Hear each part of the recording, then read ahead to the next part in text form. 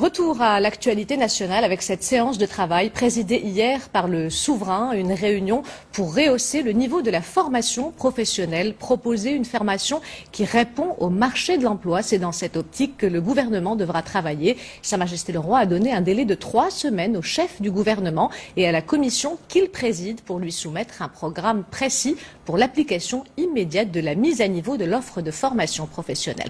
Reportage Jada Berdan et Mustafa le récit et de les directives de Sa Majesté le Roi sont bien claires. Restructurer les filières de la formation professionnelle, promouvoir l'entrepreneuriat des jeunes et mettre à niveau les formations dans les métiers classiques qui demeurent les principaux pourvoyeurs d'emplois. Des orientations conformes aux priorités préalablement fixées par le souverain, en particulier lors des discours du trône et du 20 août.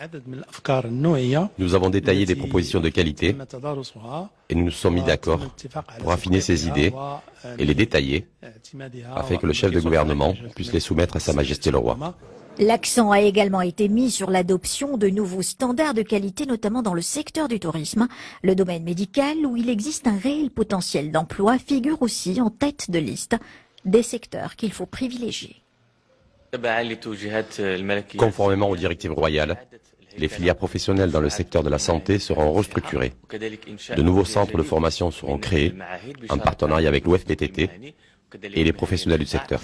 La valorisation des savoir-faire est aussi programmée. Dans ce cadre, le souverain a donné ses hautes orientations pour concevoir des formations courtes, intégrant des modules linguistiques et techniques destinés aux personnes travaillant dans le secteur informel. Sa Majesté le Roi nous a appelé à tracer une feuille de route de la formation professionnelle qui sera présentée au souverain dans trois semaines. Le programme qui sera soumis à Sa Majesté le roi Mohamed VI sera en partie financé par le Fonds Hassan II. La commission présentera également au souverain l'état d'avancement des préparatifs de la rencontre nationale sur l'emploi et la formation qui aura lieu avant la fin de cette année. Et pour parler de cette nouvelle dynamique initiée par le souverain, avec moi sur le plateau, la directrice générale de l'OFPPT, Lubna Trisha, bonsoir. Merci d'avoir accepté notre invitation. Alors, une grande partie de la restructuration de la formation professionnelle euh, vous incombe directement. Restructuration de certaines filières, création de nouvelles euh, pour relever le défi de l'employabilité des jeunes. On sait que 30% des métiers euh, actuels auront disparu dans 10 ans. Il faut donc anticiper euh, s'adapter euh, en effet, Hassan, comme vous l'avez mentionné, le contexte actuel est marqué par une profonde mutation des métiers et une demande de plus en plus exigeante et pointue en termes de compétences afin d'accompagner les différentes euh, évolutions technologiques. Dans ce contexte, le, système de formation professionnelle doit suivre. Aujourd'hui, suite aux orientations de Sa Majesté le Roi, que Dieu l'assiste, l'OFPPT est conscient de la nécessité de restructurer son offre de formation pour une meilleure adéquation formation-emploi. Pour cela, nous allons travailler en étroite collaboration avec les professionnels afin d'exploiter les différentes études sectorielles, référentielles, emploi, métiers et compétences, afin d'identifier les nouveaux cursus de formation à mettre en place, les filières obsolètes à mettre à plat et les contenus à actualiser. Euh, cette dynamique nécessite également de mettre en place une veille sur le marché de l'emploi afin d'assurer la viabilité de ce processus dans la durée. Les programmes qui seront développés mettront euh, l'apprentissage des langues et des soft skills au cœur du processus de formation afin de doter notre jeunesse de tous les prérequis et atouts nécessaires à leur insertion socio-professionnelle rapide, réussie et efficace.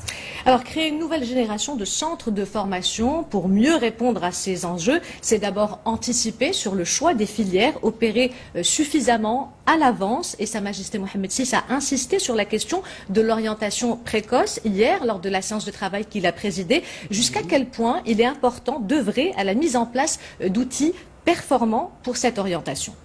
Euh, il y a lieu de souligner que la mise en place d'un système d'orientation précoce, intégré et efficient est une condition sine qua non au succès du système éducation-formation. Aujourd'hui, nous sommes appelés à travailler main dans la main avec le ministère de l'Éducation nationale et de l'enseignement supérieur afin de mettre en place un système d'orientation euh, intégré capable de permettre l'identification des aptitudes des apprenants dès leur plus jeune âge, afin de les orienter vers le parcours qui convient le mieux à leurs aptitudes, que ce soit la voie académique ou la voie professionnelle. Au niveau de l'OFPPT, l'action d'orientation va s'articuler autour du choix du métier qui convient le mieux au potentiel et aux aspirations des candidats. Euh, pour nous inscrire dans cette dynamique, nous avons d'ores et déjà lancé le recrutement d'un corps de conseillers d'orientation au nombre de 100 afin de doter nos 80 complexes de formation de ce corps d'orientateurs qui, en plus de l'orientation métier, assurera l'encadrement psychotechnique des, des stagiaires tout au long du processus de formation.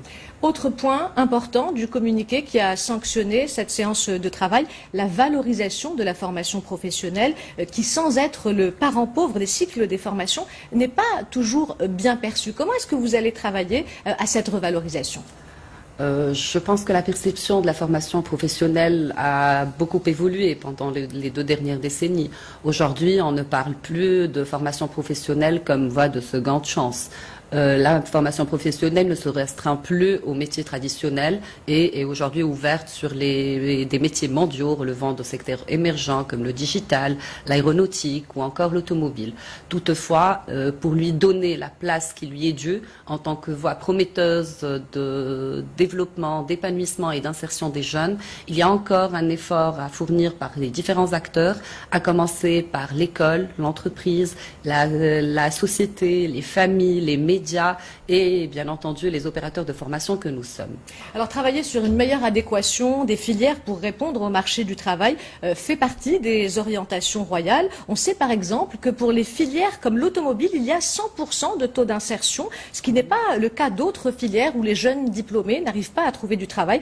Comment est-ce que vous allez œuvrer pour corriger cela? Cette question d'insertion ne dépend pas que de l'opérateur de formation. Elle est plus tributaire de la dynamique du marché et de la capacité de chaque secteur de générer de l'emploi.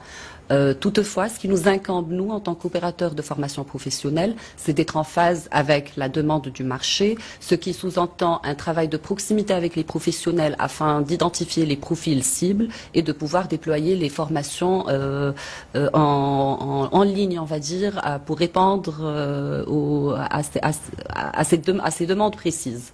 Alors, ma dernière question porte sur la mobilisation, à savoir le délai des trois semaines fixé par Sa Majesté le Roi pour livrer, dans le cadre d'une commission qui sera présidée par le chef du gouvernement, une feuille de route destinée à mettre en œuvre ces orientations. Euh, comment est-ce que vous allez euh, travailler euh, au niveau de l'OFPPT, notamment pour faire face à cette obligation de résultat?